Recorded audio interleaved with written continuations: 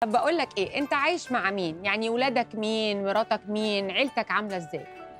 أنا عايش مع مراتي ومع ولادي. عندك ولاد قد إيه يا أنا معايا ولدين من واحدة. ما شاء الله. آه آه، كبار بقى دول. كبار.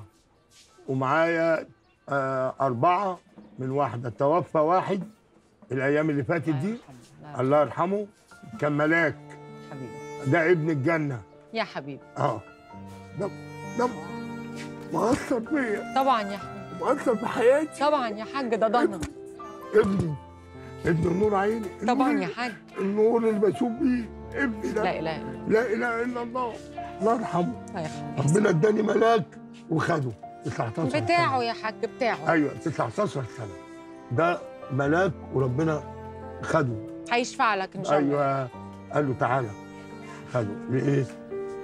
عشان ما يتبهدلش لأن دلوعه حبيبي. دلوعه السعد شغلول النور اللي بشوف بيه. يا حبيبي يا حاج. بس. بسم الله الرحمن الرحيم. وعندك ولاد مين تاني يا حاج؟ عندي بنات إخواته محمد وياسمين ونانا.